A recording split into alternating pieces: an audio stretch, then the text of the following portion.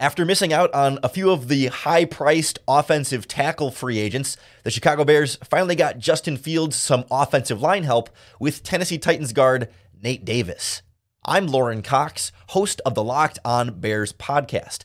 And Nate Davis comes to Chicago after being a multi year starter at right guard for the Titans. He's never played left guard in the NFL, and it raises some questions about where he's going to plug in on this Bears offensive line.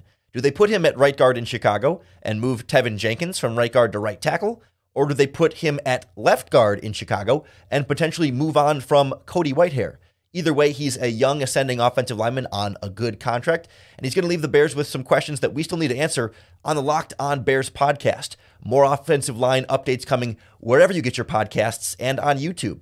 Part of the Locked On Podcast Network. Your team every day.